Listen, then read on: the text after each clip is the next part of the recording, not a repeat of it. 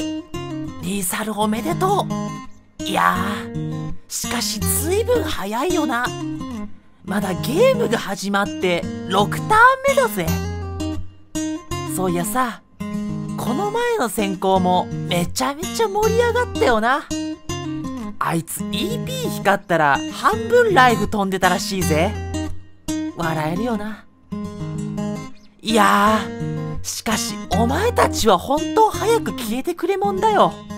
でかい実験体にされてそれを受け止めるサンドバッグが俺で。残光は引けないけどバルバはかぶるし悪くない。悪くないとは思うんだ。けどさいや全然大した話じゃないんだけどさ俺お前に言わなくちゃいけないことがあるんだよね。そういやさ高校の EP 解放時突如やってくるあの虚しさ。あれなんだろうね。あれやばくね。てか俺死んでね。なんてごめん。どうでもいいか。